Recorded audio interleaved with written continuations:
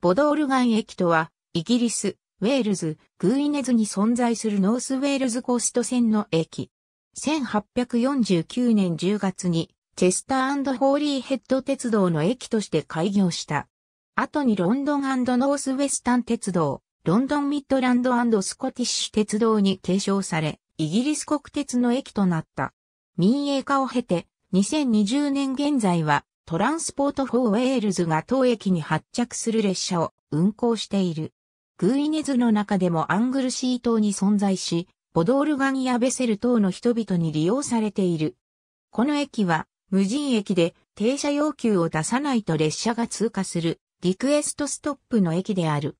ホーリーヘッド駅行の西行列車とシュールズベリー駅、クルー駅、バーミンガム国際駅、カーディフ駅行の東行列車が到着する。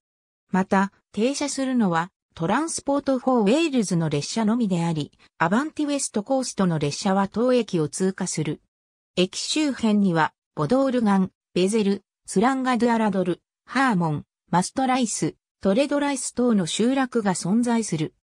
また、A4080 道路が駅周辺を通っているが、駅周辺は草原が広がっている。また、駅より多少離れた位置には、アベルフラウアンや RAF モナ等が存在する。ありがとうございます。